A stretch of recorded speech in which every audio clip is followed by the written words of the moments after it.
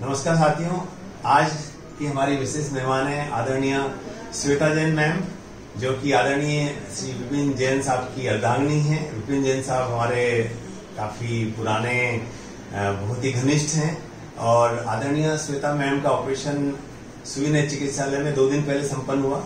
इनकी आँख में 16 कट आर के यानी कि रेडियल केराटोटोमी नामक ऑपरेशन हुआ था। जिसके कारण इनको चश्मे का तिरछा नंबर भी था, कॉर्नियल एस्टिगमेटिज था, लगभग 2.25 डायप्टर का। तो 16 कट आरके और कॉर्नियल एस्टिगमेटिज होने के कारण ईडोफ टॉरिक लेंस का डिसाइड किया गया। हमने कई सारे टेस्ट किए, इनकी आँख का आयोल मास्टर किया, इनकी आँख की केरेडिन पेंटागेम नामक मशीन से की टोपोग्राफी नामक मशीन से की, और ओसीटी पर्दे की जाँच की, उसके बाद ये निर्णय लिया गया कि इनकी आँख के लिए बेस्ट लेंस है ईर ऑफ़ टॉरिक लेंस। क्योंकि मैडम जी चश्मा लगाने में थोड़ा सा इनकी इच्छा कम थी कि इनको दूर पास का स्पष्ट दिखाए थे। बिना चश्मा लगाए या चश्मे पे डिपेंडेंस कम से कम हो। उसको मद्देनजर रखते हुए इनकी आँख की पूरी तरह से प्लानिंग की गई, लेंस को ऑर्डर किया गया। और लेंस को आने में लगभग एक साल का टाइम, एक महीने का टाइम लगा। और उसके बाद फिर इनका ऑपरेशन दो दिन पहले जब हुआ तो आज फीडबैक मैडम के मुँह से सुनिए आप कि किस प्रकार से रहा उनका। ऑपरेशन बहुत अच्छा किया है डॉक्टर साहब ने बहुत ही शानदार ऑपरेशन हुआ है। पहले से भी जो मेरे राइट आई का ऑपरेशन उससे भी बेटर इस लेफ़्ट आई का हुआ है। और मुझे बिल्कुल नहीं लग रहा है कि मेरा ऑपरेशन हुआ है। मैं घर में सारे काम कर रही हूँ बस थोड़ा सा आ, गैस का ही काम जो अभी मना किया है बाकी कपड़े धोना सारे काम कर रही हूँ। मुझे कोई प्रॉब्लम देखने में भी नहीं आ रही है। बहुत ही अच्छा फील हो रहा है। थैंक यू फॉर डॉक्टर साहब। बहुत ही अच्छा फील हो रहा है। और हमारे बीच आदरणीय लक्ष्य जी भी उपस्थित है जो कि आदरणीय मैडम जी और विपिन जी के सुपुत्र हैं।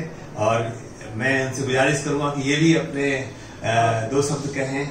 बहुत ही अच्छी बात है। कोटा में ऐसी सुविधा उपलब्ध हो पाई है ये भी हमारा सौभाग्य ही है। और डॉक्टर साहब का नाम ही इतना अच्छा है कि अपन उनके ऊपर पूरा ब्लाइंड फेथ कर सकते हैं और ये सारी चीज़ें तो थैंक यू सो मच ऐसा इतना अच्छा ऑपरेशन करने के लिए और आगे भी ऐसी सफल ऑपरेशन सबके होते रहे ये काम बहुत ही शानदार ऑपरेशन किया मेरा डॉक्टर साहब ने।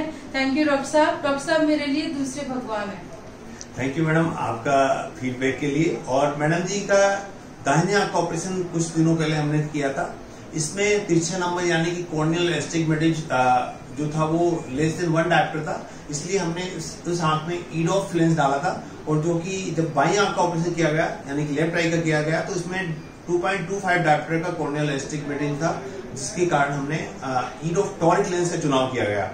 और इसमें सबसे महत्वपूर्ण बात यह है कि आरके यानी कि रेडियल केरेटोटोमी वाले केसेज में लेंस का पावर कैलकुलेशन करना बहुत ही ट्रिकी चीज़ होती है प्रॉपर कैलकुलेशन और इसके लिए हमारी टीम ने लगभग मैडम जी की कम से कम चार से पाँच बार टेस्ट किया और पाँच दिन को कई बार बुलाया हमने बुला के टेस्ट किया लेंस को ऑर्डर किया ऑनलाइन कैलकुलेशन किया डेढ़ घंटे ऑपरेशन में लगे हैं। हाँ डेढ़ घंटे इनका ऑपरेशन लगे हैं ताकि क्योंकि क्या होता है कि कई बार ऑपरेशन जो होता है वो उसमें प्लानिंग और एग्जीक्यूशन बहुत ज़रूरी है। इनका जो ऑपरेशन हुआ था तो पहले मैं सोच रहा था इनको नंबर वन पे ले लू। लेकिन जब मैंने वॉच कर रहा था, मैं स्क्रब कर रहा था, उससे पहले मैंने दिमाग में विचार आया कि मैं बाकी लिस्ट को खत्म करने के बाद लेना चाहता हूँ, ताकि मैं पीस ऑफ़ माइंड यानी पूरा ध्यान सौ परसेंट ध्यान के साथ कर सकूँ। और इनका जो हमारा लिमिटी माइक्रोस्कोप है जिसमें एक हाई डेफिनेशन कैमरा है एचडी कैमरा है उसके माध्यम से मैं इनको दिखाना भी चाहता था बाहर। तो इसलिए हमने फिर एच कैमरे के माध्यम से लिमिटी माइक्रोस्कोप को यूज़ करते हुए एडवांस फ्रिकोमल्सिफिकेशन सिस्टम से इनका ऑपरेशन हुआ। और मैडम जी आप जैसे यहाँ से घर गए हम्म। तो आपको तुरंत दिखने लग गया था जैसे? हाँ हाँ बिल्कुल। अच्छा। आधा घंटे बाद मुझे प्रॉपर अच्छा दिखने लग गया था। अच्छा अच्छा।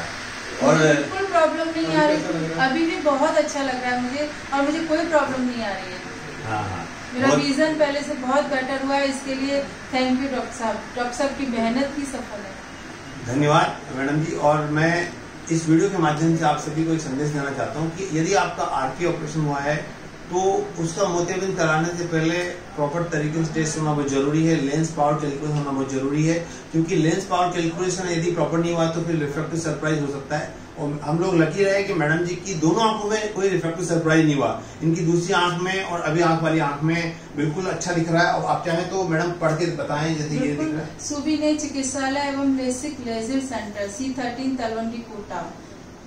और ये ये भी दिख रहा है बड़ा बड़ा हाँ बिल्कुल। डॉक्टर सुरेश कुमार पांडे विदुषी पांडे सारा मुझे क्लियर दिख रहा है। तो आपने देखा कि मैडम को बिना चश्मा के दिख रहा है? और घड़ी में टाइम कितना हो madam? Twelve twenty. Twelve twenty. बारह बज के बीस मिनट तो बहुत ही बधाई हो आपको कि आपने टाइम भी बता दिया पास भी पढ़ लिया।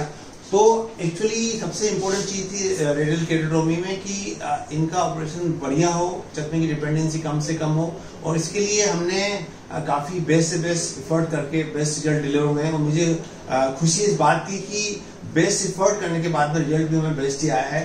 जिसे बोलते हैं कि जब आप कोई भी काम पूरी शिद्दत से करते हो तो पूरी कायनात उसको कामयाब करने के लिए सफल हो जाती है। तो यही चीज़ हुई है और, और मैडम जी बड़ी विपिन जी बड़े आस्थावान हैं बड़े धार्मिक हैं और ईश्वर की भगवान की कृपा साथ चलती रही और नमोकार मंत्र का भी जाप हुआ था।